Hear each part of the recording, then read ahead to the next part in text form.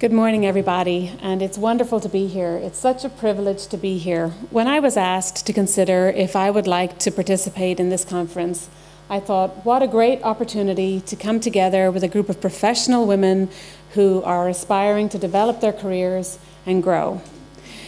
Let me tell you a little bit about myself. I grew up in Ireland. I grew up in Ireland in the 70s. Ireland in the 70s was behind the times. Women in Ireland uh, in the banking sector and the civil service, um, when they became married, they had to resign. It was called the marriage bar. In 1973, the marriage bar was eliminated. And in 1973, Ireland became part of the European Economic Community. And this opened Ireland up to uh, free trade with the rest of the European community. Um, so this was the environment I grew up in, an environment of growth, opportunity, and change.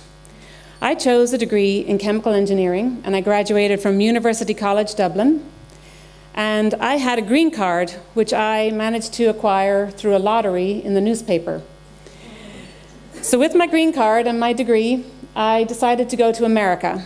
And I did a degree in uh, Masters in Chemical Engineering in the University of Missouri Rolla. go Rolla. And from there, I got hired on at Caterpillar. So hard work, the willingness to pursue opportunities, and the ability to make huge personal change enabled me to become part of corporate America. And I thought I had arrived. Little did I realize that my degree was just the beginning. It was just the beginning of how I was going to function in the workplace. I had a lot to learn about continuing and surviving in the workplace. In 1925, Caterpillar um, was created. There was the CL Best Tractor Company and the Holt Manufacturing Company, and they merged to form the Caterpillar Tractor Company. Over the years, this company has grown to be a huge global corporation providing products and services in the mining and construction industry, energy and transportation. Um, we have a massive dealer network and a huge aftermarket business. So it was a traditional, heavy duty industrial company. A male dominated environment steeped in years of history. Very often you would hear the words, if it ain't broke, don't fix it, and this is how we've always done it. so, very often we think when we start our careers that if I do a good job and I get good results, I'll be secure in my role. But there are many things we can do to help ourselves develop in our careers, and there are many things our company can do to create an environment of growth and opportunity. And that's what I'd like to share with you today. What are some of the things that I've done personally to try to advance my career? And what are some of the things my company is doing to create a more diverse and inclusive environment? So, when I began my career, I didn't realize how important my network was. And I took a variety of roles, and each role I had different responsibilities and a broader scope. And as I moved through these areas, I, I was getting visibility and exposure to different managers. Um, and some of these managers became my biggest advocate. So, for example, the first a hiring manager of mine he suggested that I consider a position as the METLAB foreman. And you can tell by the name of the job, it was a foreman position. Um, so this position was basically responsible for metallurgical analysis and chemical process analysis um, in support of operations in what was known as the track type tractors division at that time. And I applied for the job and I got the position. Um, so I became the supervisor of 35 hourly UAW workers, most of them old enough to be my father. Um, so I wasn't a metallurgical engineer, and this was a big change for me, but I decided to go for this opportunity. Now, some of these employees were kind, even though they knew more about the role than I did. Um, they treated me with respect.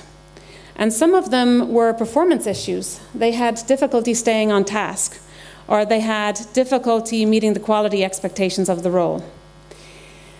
Um, and some people were going through personal issues, such as divorce or health issues. We have even had an instance where one of the individuals struck another individual, and we had to go through a process of uh, dismissing that individual. I learned so much. I had this role within five years of being in the company. And you see, this was a real game changer for me because in subsequent interviews and subsequent opportunities, when I was asked if I had supervisory experience, I was always able to leverage the time that I had in the Met Lab as the Met Lab foreman. Now, at this point in time, I also pursued my MBA, and um, I did this over four years. I took two classes per semester, and I took most of the summers off.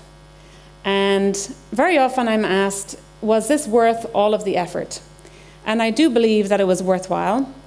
I was exposed to different subjects such as law, um, strategy, economics, accounting, different topics that made me a more well rounded manager and that I was able, able to leverage in future jobs. Um, at this point, a mentor of mine contacted me and asked if I would consider being a Six Sigma Master Black Belt. Now, this was a really big opportunity for me. This was a double promotion and it was a movement into another tier of management in the company. When I got the call about this opportunity, I was sitting in my doctor's office and I was nine months pregnant. And for a moment I thought, do I tell him I'm pregnant? and of course, honesty is the best policy, and there was really no way of denying the fact that I was going to be busy for a few weeks. So I, I let him know that I was um, expecting my daughter. And fortunately for me, he delayed the interview process. And six weeks later, I went in and I interviewed, and I got the position. Now, becoming a Six Sigma Master Black Belt was a big deal because we had to go through extensive training to learn the Six, Six Sigma methodology, and we had um, to teach classes of engineers, to teach them the methodology and the statistics. And we also had to coach the black belts to make sure that they were fulfilling the methodology requirements and meeting the financial commitments of their projects. So it was a very busy schedule. And not only that, but I became the safety champion for specialty products. Specialty products is a department that designs and manufactures um, components such as non-metallics like seals or hoses. And so they have a very large manufacturing footprint of about, at that time it was about 20 focus facilities. And so my job as the safety champion was to um, help manage and strategize around the safety process and drive the recordable injuries down across specialty products. This was the point in time when Caterpillar was very focused on making a significant improvement in their safety metrics. And there was a lot of focus and attention on whether or not we delivered. And even though I had a newborn at home, um, I decided to go for the opportunity. And with the support of my husband, who stepped up and really helped out on the home front. So I went for this opportunity. Now, years later, I was in another role and I was feeling kind of bored, not very challenged in my role, and I was trying to figure out what to do with the next opportunity. So I actually went to a SWE conference in America, and it was my first SWE conference. And I found myself surrounded by thousands of female engineers. And it was such a unique experience. Um, and these women were very focused on their careers, different issues that they have, um, how to balance your work and your life, how do you handle the, the children dynamic, how do you negotiate for payroll increases, how do you negotiate for flexibility in your life. Lots of different topics. And one of the sessions I went on was on networking. And I began to reflect on my own career, and I realized how important my own network had been to get me to the stage that I was at. So I decided to put it to the test. And I went back to Illinois and created a presentation of all of my most recent accomplishments. And I reached out to a manager I had worked with in the past. He was a very charismatic, driven individual. And sometimes he was quite intimidating. Uh, so, nevertheless, I, I sat down and I met with him and I went through my information. And he took my information and he advocated for me with a group of pro his product managers. Now, his product manager said, I don't know the first thing about Aisling. Um, we don't know her, we don't know her name, we don't know anything about her. But one product manager decided to take a chance on me. And I interviewed and got the position as the integration manager integrating Caterpillar components on Bucyrus equipment. Bucyrus was the single biggest acquisition Caterpillar had ever made. This role was like a program manager, um, leading the technical organization to deliver on their requirements, but it also had a lot of financial governance. We had a lot of report outs to vice presidents on a monthly basis and a lot of financial accountability to make sure we were delivering uh, to the commitment that we'd made with the acquisition. Um, the product manager that took a chance on me was a strong female product manager. It was such a privilege to work with her because I got to observe her with executives and to see how she behaved. She never lost her cool. She always kept her composure and she never let comments undermine her. So it was a great experience to work alongside this female product manager. Now, on to my latest adventure. Uh, I recently moved to Germany and I became the technical manager for longwall coal mining. Uh, I, have a, I had originally a team of 150 engineers based in Germany, Australia, America, and China. And when I took this position, I didn't know anything about mining or coal mining, and I didn't know anything about the team at all. But this time I was coming back across the Atlantic. It was more, it wasn't just about me, it was about my husband and my two children as well. And so we did a Pugh matrix to figure out if this would be a good solution for our family. And we decided it would be a good opportunity. So we're very lucky. Our children have done really well. They've gone to international school and they've made friends from all over the world and have learned different languages. Um, Caterpillar has enabled my husband to work in Germany as well, which is unusual for uh, two in a couple to be placed. And my husband has led a team of German engineers and was also involved in a new product program. For me, the biggest challenge about coming to Germany was the fact that mining has gone through a huge downturn. And mining, the industry, has gone through a lot of restructuring. So for me, my team, we also had to go through restructuring. It's the hardest thing I've ever had to do to let engineers go. And I'm very proud of the team because despite the fact that we went through all of this change, we still managed to deliver on our orders and meet our customer requirements and we still managed to do development of new product concurrently. So hard work and good results are very important. But there are things you can do to help your career, such as leveraging your network, taking on different assignments, and um, stretching yourself when the opportunity arises. Another thing that's very important in, in your organization is the culture of your company.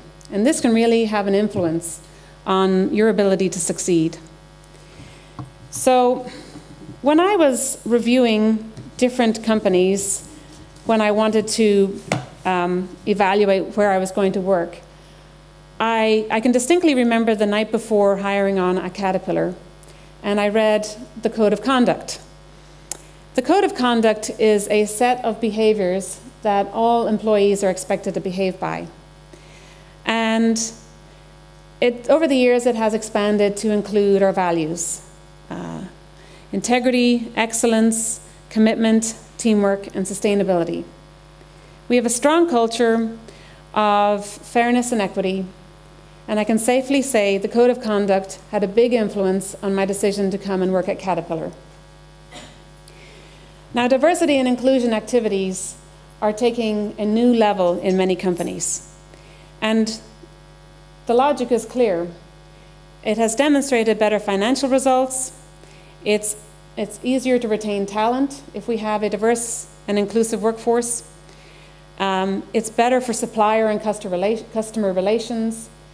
And also, our innovation results are more successful. So, many companies are really emphasizing and improving on their diversity and inclusion activities.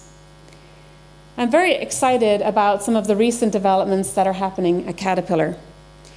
Two years ago, Caterpillar has um, promoted their first female group president, called Denise Johnson.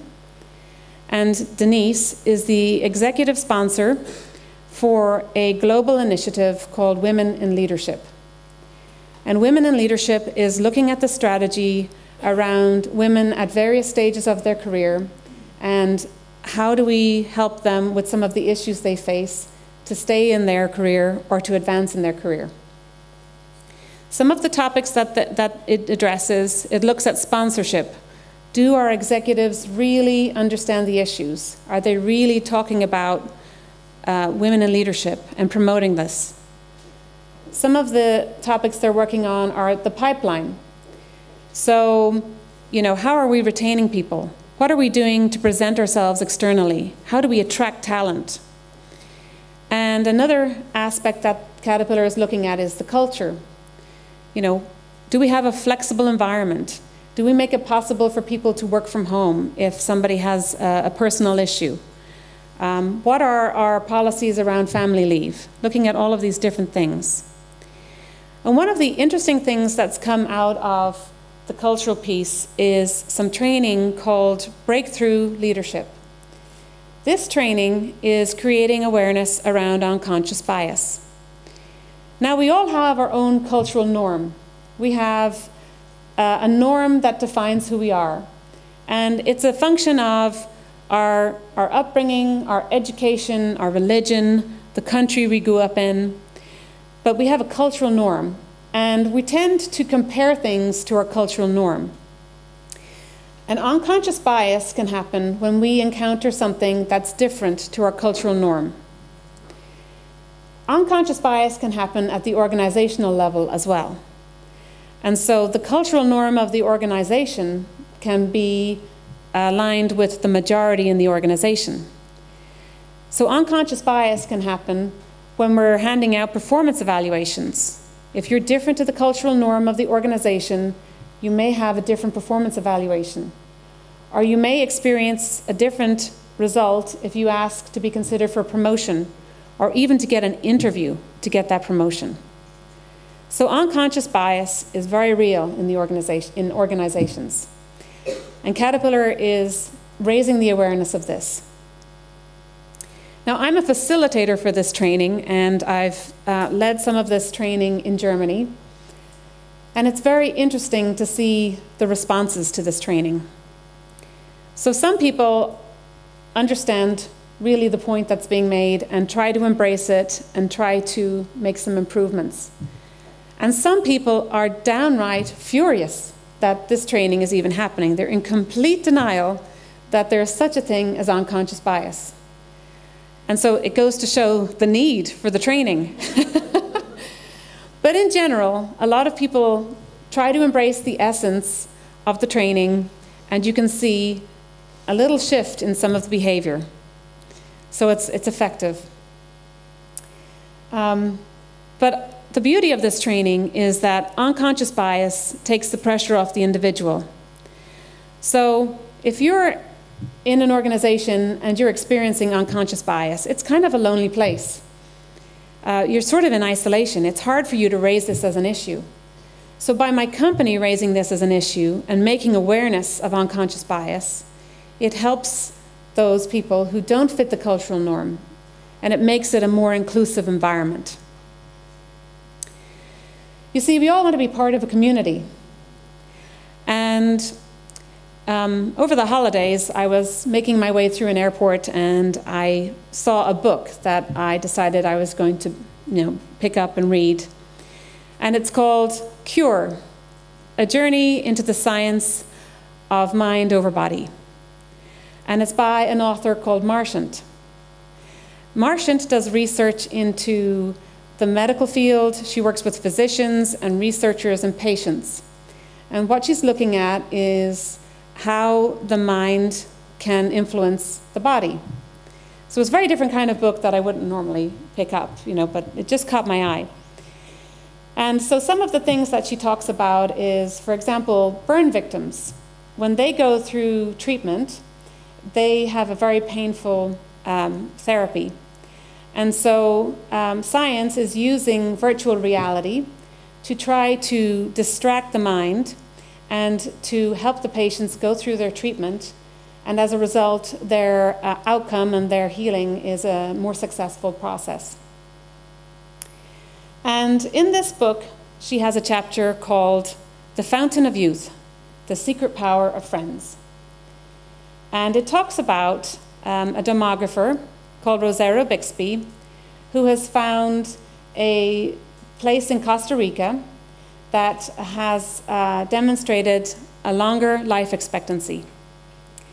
And so, um, what they did was they, they measured this and they were able to quantify that there are certain people in this area that have a longer life expectancy. And they wanted to understand the factors that are influencing life expectancy. And what they found was that it didn't have anything to do with money or genetics or your diet. But the factor that inf influenced life expectancy was whether or not you were part of a strong social network, a part of a community, and if you had exposure to children. So, a strong social network is key for life expectancy. She also talks about a study that an epidemiologist did. His name was House. And he decided to monitor the health of a town over a period of time.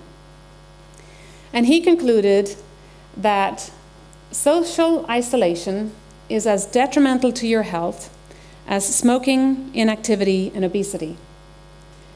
So, social isolation, in fact, what they found is that our brains react to social isolation as if we're under attack.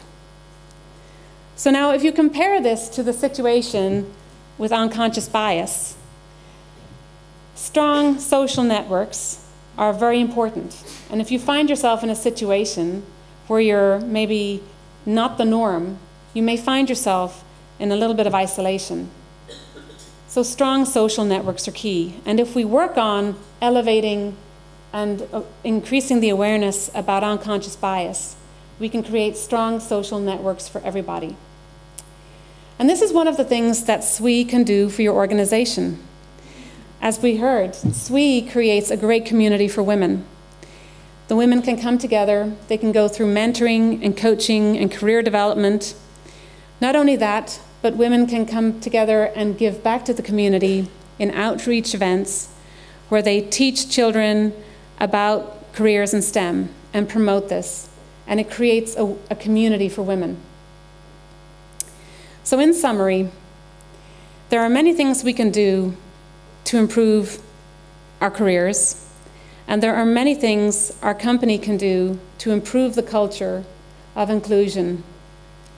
As you go through this conference over the next few days, think about where you are in your career and what you're trying to accomplish. Where do you want to go?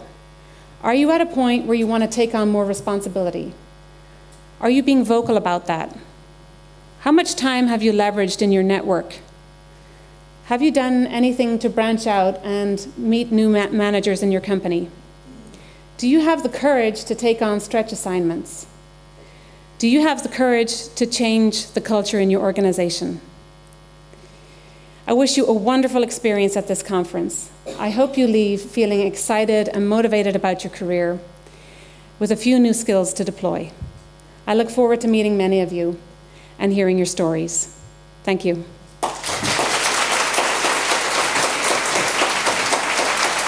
Well, thank you so much. That was wonderful. Um, you know, I had a few prepared questions, but you know, as you're as you're moving along, um, I had a couple questions, especially around uh, culture, which I thought was a really um, uh, interesting part of your keynote. Um, especially because you, you, think of like Peter Drucker, and um, you know, he was a big management guru. We're saying uh, he would say that uh, culture eats strategy for breakfast.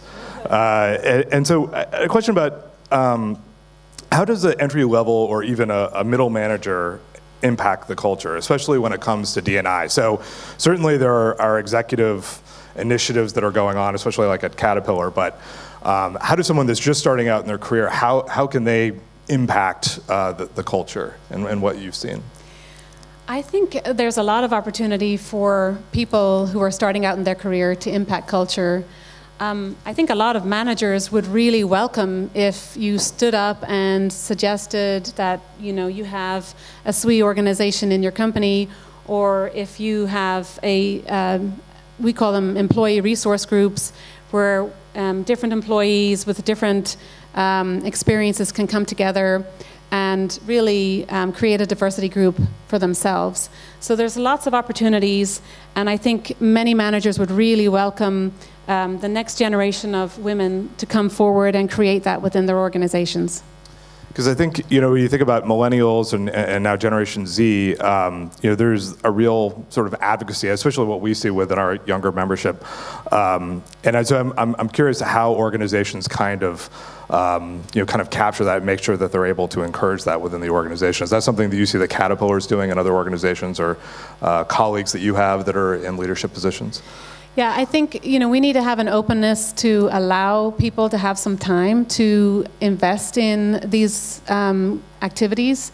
And uh, one of the things that Caterpillar does is we have um, a couple of days a year. This is uh, speci specifically in the US, but we have a couple of days a year where we're encouraged to maybe go out and do some activities in the um, community um, such as helping with Habitat for Humanity and building homes for some of the poor people. And so there's, there's a way that your culture can support um, people who need to develop these activities. And I love what you had to say about unconscious bias. So, so SWE does a lot of work, and I, I, uh, Jana had mentioned the, the D&I cards. A lot of the, the, the research in those cards is um, is around unconscious bias. And so I, I was curious because it sounded like you were, you were do, leading some training around that. Um, what are some of the meaningful interventions and tools you've seen? So beyond just uh, training, are there things that you've seen that have really been meaningful, especially for uh, whether it's you know you're a manager or you're just working with a peer? I mean, I think, you know, the more we raise the awareness of unconscious bias, I think we can have more of a dialogue around that. And um, so it's easier for a person to maybe say, Did you realize what just happened there was, you know, a little bit of unconscious bias? And so, um, you know, promoting the awareness uh, really helps start that conversation in the organization. And, um, and, and, could you describe like some of the, um, the reactions you've had from some of your colleagues? So it, it like initially people were skeptical of the concept, but you see that things are now turning where people are, I don't know if they're embracing it, but they're definitely aware of it and accepting of it or tolerant of, the, of this point of view? Yeah, I think we have quite a mixture. I think there's some people who are um, very open to it, and then some people who come in initially and they're, you know, I don't understand the need for the training. But as they go through the training, they really start to understand um, the, the point that's being made. And um, there's a new iteration of this training that's going on, and we have some very powerful um, um, comments from some different females throughout the company who, who are really describing their, their situation. And you know, they talk about how, you know, sometimes they feel even lonely. They're sitting in a meeting, but they don't even feel like they can contribute. And so hearing these stories really highlights that it can be um, a problem, and we really need to get through this to be able to have an inclusive environment. Yeah, I, and just uh, so SWE recently did some research um, in partnership with the Work Life Law Center at uh, UC Berkeley around unconscious bias, actually with Joan Williams, who is is well known in the field. Uh, so we actually uh, have a sample of about 3,000 that participated, men and women. Uh, and we're also doing another study uh, in India that actually just wrapped up, and we'll be sharing the results of that this summer. And it's, it'll be really interesting to kind of benchmark between what we're seeing in the U.S. and, and, and India. So just wanted to point that out. If anyone's, uh, if anyone's interested, please uh, let me know. Um, and I, I, just had another question, just talking about your career and, and how you've developed and, and um, uh, some of the folks that have, have helped you along the way or, or, or been mentors. Um, but I was kind of sort of a forward-looking question, like, what do you envision as the, the engineer of 2030? And I, and I know you'd mentioned like having that well-rounded education your, with your MBA. Mm-hmm. Um, what are some of the things that you think are really the core competencies that, that you know, for the engineer of 2030? Yeah, I think um, you know the engineering degrees are evolving all the time, and I think there's an awareness that you know historically we've been taught to focus on electrical, or we've been taught to focus on hydraulic, and you know I think that understanding systems and cross-functional training and how um, these systems interact is going to be a focus going forward. Um, I think obviously our speed of product development is going to accelerate because of all of the technology we have available. I think our validation activities are going to change significantly. And I think we'll all be leveraging data analytics a lot more as it becomes applied to um, our day-to-day -day business. So it's going, I think there's going to be rapid change and it's going to be very exciting. And are, are, there certain things that you see and how, and not only in the U.S. but just the university system in general, how it needs to evolve? Um, do you find that it's keeping pace with um, what, what your company needs, what your organization or other organizations? Yeah, I think certainly there are some programs that are really trying to embrace the system approach um, and also emphasizing sustainability. And I think it's interesting here in Europe. Um, I just recently learned there's a new directive that is being considered, and it's the circular economy, and it's really emphasizing, you know, recycling and minimizing waste. And so, sustainability will probably be another aspect of engineering that will be very important going forward. Well, I just want to shift gears here. Does anyone have any questions? I have more that I can ask, but I want to open it up to the to the group here. So it looks like we have a question. Who, who is first? Right over here? Okay.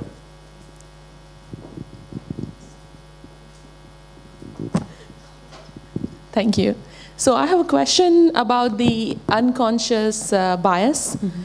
um, when someone shares their story that, that has happened to the person that she might feel that that was unconscious bias for her advancement, and uh, you actually um, contact the person who might be involved, um, how does the reaction come? Um, do you have like non-retaliation policies? Um, does, how does that impact the particular culture? I think the way we're approaching unconscious bias really is um, more of an awareness because it really is a, um, a reflex reaction. So it's like, you know, closing your eyes when you sneeze. People don't even necessarily realize that that's just happened. And so by just bringing it to the surface and explaining, here's the situation, um, you know, we need to just be able to open about uh, dialogue about it openly. Um, we do clearly have retaliation policies, um, but we're not talking about trying to get everybody in this confrontational situation where we're always, you know, going to disciplinary action over um, having a dialogue about unconscious bias. So we want to make sure that it's an open dialogue and raising the awareness. And if there is a serious issue, we, we definitely will have our HR policies kick in. Thank you. Mm -hmm. Hi, I'm really excited to speak, uh, to ask you something. So uh, I work at Intel, and we have a lot of um, policies to encourage um, more engineering, uh, more women engineering in the workforce.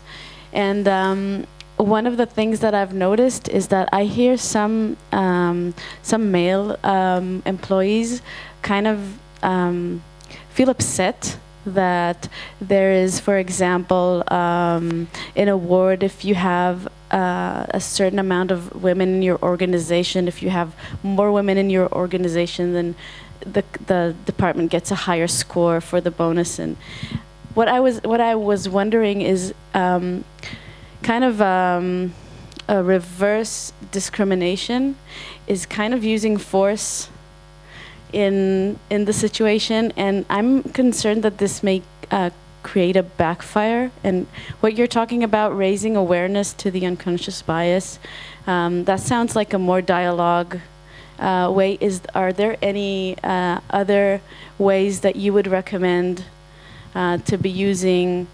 to encourage inclusion, but not to uh, create a backfire. Yeah, I think you know we we need to keep emphasizing the value of a diverse workforce, and um, a lot of the men that we're working with, you know, they have daughters or they have wives, and so by putting it in perspective of, you know, how would you like your family to be treated? Um, I think you know giving opportunities to bring your daughter to work, um, that kind of thing can help them see the value in um, having a diverse workforce. And really, that's what what it all comes down to. In the end of the day, is there's value in diversity, and I think that speaks to everybody, no matter what your your cultural norm is. My question is just, uh, can I continue? Yeah. yeah? Okay. okay. So th the question is just, um, how do you react when you get an employee? So you said that you're doing these um, uh, seminars or awareness, uh, and some of the people don't understand what you're talking about, and how do you react to people that are saying, "But it's not fair. I didn't get the job because that other." Uh, um, participant got it because she's a woman, and I didn't get it because I'm a man, and this is how do you react to that? Yeah, I think, you know, a lot of times, you know, women will go for opportunities and they won't get the opportunity. So just because we have these programs in place, it, it doesn't necessarily make it easier. Um, and I know that every opportunity I've gotten, I've had to work hard for it and demonstrate that I've been able to function at that level before I was given that opportunity. And so um, I think you just need to keep referencing how you are worthy of that opportunity and you have these accomplishments and this is why you were selected for that opportunity. Okay. Another question over here? Is this fine? Hi, I'm Sarah. Um, my question is about how men and women work together. So I'm recently married and it's a, a key topic of conversation for me and my new husband, how we work together. Um, and obviously, when I go into my workplace as well, and I am surrounded by a lot of guys, it's an, it's a natural uh, evolution uh, for that conversation. Um, I'm fortunate enough to work in an organisation that's very culturally aware, um, diverse and inclusive, so I, I can relax at work actually. Um, and so that conversation's like the next step for me. Um, yesterday, Jana told us that on this conference we're 25 countries. And I'm aware that the way that men and women work together is very different in different parts of the world. So, like in the UK, it's kind of more evolved.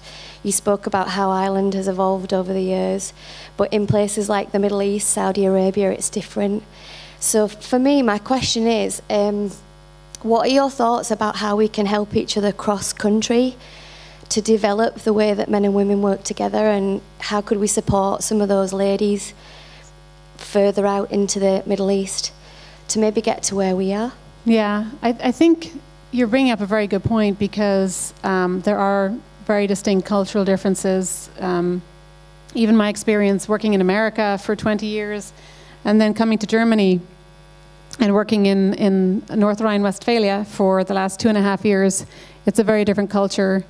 And so I think this could be something that we could analyze, you know, to understand the cultural differences and to try to help um, create programs that actually fit into the cultural uh, norm of that country. So, uh, but you're right, there are distinct differences. And um, in the end of the day, we all come to work and we want to focus on our job and we want to focus on getting the work done. And so emphasizing that is I think, what'll make the difference. Yeah, and I would just add that, um, for instance, in, in India, when we were doing roundtables, and we have a few of our cards and a few of the topics around LGBT, which you know is is still considered a criminal activity in India, uh, but we see a lot of the corporate, you know, a lot of these companies actually taking a lead on these issues. So um, it's interesting to see there's an open dialogue around that, but within the country, it's still considered an illegal activity. Um, so, but that, that's a really interesting question. So, thanks. Yeah, for example, we were um, driving here yesterday, and I'm here with two of my German colleagues, and they were asking, "What is dress code?" You know, and so even some of the words don't translate, and so we need to have um, run pilots of information regionally so that we make sure the message we're trying to get across translates. Questions? Oh, yeah. right over here. Sorry, I don't know who was first. Yes, thank you so much for your presentation. Um, regarding my friend's uh, question about unconscious bias, and you are very eloquent on the subject, how do you deal with the concerns about loss? Because I think that a lot of people are feeling they're losing their value, uh, men. They're losing their value in, in this race, in this competition where women are, are being introduced into the system, especially for engineers. And uh, from a university, I'm surprised by some of my colleagues saying, why do you need a Society of Women Engineers at our university? We need more engineers anyway. So why just women? Um, the way, you know, I kind of cope with this is I, um, you know, for every, you know, 10 people who maybe are not supporters, there's one who is. And I tend to try to connect with that person who's a supporter and make sure that they see the, the work that I'm doing and that they can help me, you know, continue in my role or change as I need to. So I think you need to focus on the people who really are genuinely supporters and make a connection with them and work with them because they really want to make a difference. And, and I think you can tell. I think you can tell the people who are sincere and the people who are just, you know, going along with the program.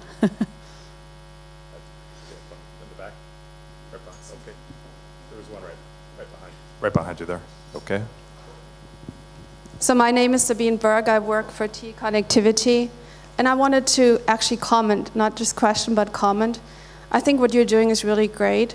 Um, the culture of E&I and engagement is very important, as well as putting people on a fast track through role modeling. I can just say I'm a product of that. Nadia, who, you, who spoke on behalf of T earlier, she was actually one of the people that drew me into our ERG network. We have also ERG networks such as LG, LGTB and women in networks and so forth, and young professionals. We have colleagues here from young, young professionals. So being part of this network really gave me the opportunity to show people what I can do besides my job title.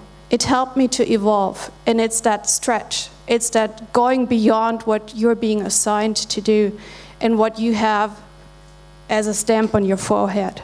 So I encourage everybody, look into yourself, look into your, you know, your inner self, what your aspirations are.